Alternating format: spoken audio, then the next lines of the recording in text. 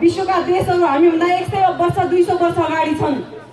यति एडभान्स छन्। हाम्रो हरेकको हातमा भएको डिभाइसमा तपाईँ हेर्न सक्नुहुन्छ मोबाइल फोनमा हेर्न सक्नुहुन्छ कि विश्वका देशमा के भइरहेका छन्। त्यस्तो अवस्था हामी यति पिछडिएर बसेका छौँ र के कारण भएका यो पछि पिछडेका छौँ भनेर हामी अलिकति सोच्न पनि चाहिरहेका छैनौँ। यो अवस्थामा हाम्रो नेताजीहरूले अब के गर्नुपर्छ? अबको बाटो कुन हुनुपर्छ? विभिन्न राजनीतिक क्रान्तिपछि अबको देशको आवश्यकता भनेको के हो भनेर बुझ्नुपर्छ र बुझ्नुहुन्छ जस्तो मलाई लाग्थ्यो। तर त्यस्तो भइराखेको थिएन। र एक डेढ वर्ष अगाडि जुन सोच डाक्टर भट्टराईले ल्याउनु भयो म त्यसमा सहमत हुन पुगेँ। किनकि मैले विश्व हेरिरहेको थिएँ र साथैमा आफ्नो नेपाल पनि हेरिरहेको थिएँ।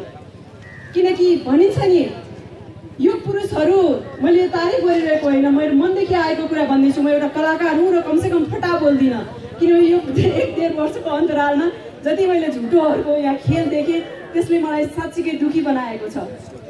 त्यसैले म भन्न चाहन्छु कि यस्ता युग पुरुषहरू धेरै वर्षपछि धेरै सयौँ वर्षपछि एउटा दुईवटा जन्मिने गर्छन् जुन म डा डाक्टर बाबुरा बाबुराम भट्टराईलाई त्यो शब्दले चाहिँ ओनर गर्न चाहन्छु। अनि उहाँले त्यो एक डेढ वर्ष अगाडि जुन नयाँ शक्तिको धारणा ल्याउनु मैले पचास वर्ष आजभन्दा पचास वर्ष अगाडि सय वर्ष अगाडि सोच्ने एउटा व्यक्ति आफ्नै जीवनकालमा पाएँ र वास्तवमा हाम्रो नेपाललाई यही चाहिन्छ भनेर म उहाँसँग आबद्ध भएँ। तर जुन आरोह आरोह अवरोह नयाँ शक्तिले बिहोर्नु पर्यो त्यसको सँगसँगै म हिँड्दा मैले पनि महसुस गर्न पाएँ।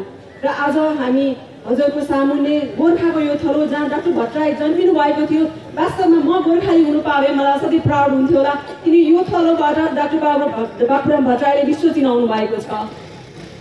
त्यसैले फेरि पनि यही थलोमा आएर उहाँले यति नम्र भएर विनम्र भएर देश समृद्धिको लागि हजुरहरूको सामुन्ने भोट मागिरहनु भएको छ। यो वास्तवमा राष्ट्र विकासको निम्ति हो। हामी यति सङ्कीर्ण आफ्नो पार्टीको लागि मात्रै भनेर म चाहिँ सोच्दिनँ।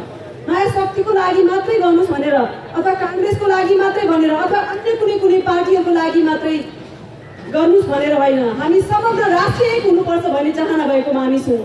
तर यो त एउटा प्रक्रिया हो हामी चुनावमा जाँदैछौँ हाम्रो एउटा चिन्ह छ। र हाम्रा हाम्रा उम्मेदवारहरू हुनुहुन्छ र उहाँहरूलाई नै हामीले भोट गर्नुपर्ने हुन्छ। त्यसैले डाक्टर भट्टराई फेरि पनि यहाँहरूको सामुन्ने हुनुहुन्छ यो एउटा सुवर्ण मौका हो जस्तो मलाई लाग्छ। अनि त्यसै गरिकन काङ्ग्रेसका वरिष्ठ नेताजीहरूले जसरी बोल्नुभयो यहाँ यति धेरै राष्ट्रको नाम निम्ति चाहिँ उहाँहरू सोच्नुहुन्छ त्यो देखेर मलाई एकदमै गर्व र खुसी लागेको छ। र यो चुनाव चाहिँ साँच्चीकै हाम्रो पक्षमा हुनेछ। वाम लोकतान्त्रिक गठबन्धनको पक्षमा हुनेछ भन्नेमा म एकदमै निश्चिन्त छु। म एउटा कलाकार हुँ वास्तव मलाई राजनीतिक दावपेज खेलहरू र धेरै राजनीतिक ठुला ठुला शब्द गहन शब्दहरू त्यति थाहा छैन। तर एउटा नेपालको समृद्ध चाहने एउटा नागरिक हुँ। त्यसैले हजुरको आएर सामुन्ने आएर दुई शब्द बोल्न पाएँ राख्न पाएँ परिचय गर्न पाएँ। त्यसको लागि धेरै धेरै धन्यवाद। जय जय नयाँ शक्ति जय नेपाल।